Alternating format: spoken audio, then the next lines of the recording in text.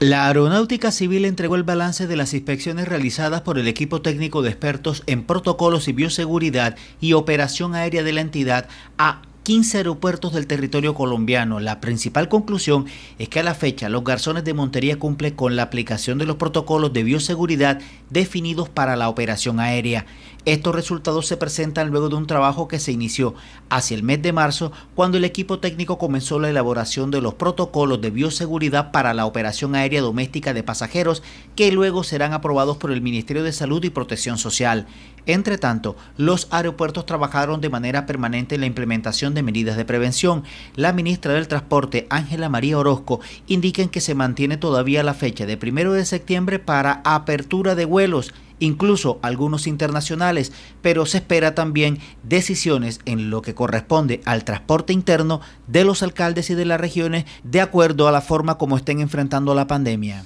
La tarea de vigilancia adelantada por la Aeronáutica Civil ha estado orientada al cumplimiento de la resolución expedida por el Ministerio de Salud que contiene el protocolo de bioseguridad para prevenir, mitigar y contener la propagación de la COVID-19. Para el caso de la ciudad de Montería todavía no hay autorización del gobierno local para darle apertura a la terminal aérea de la ciudad.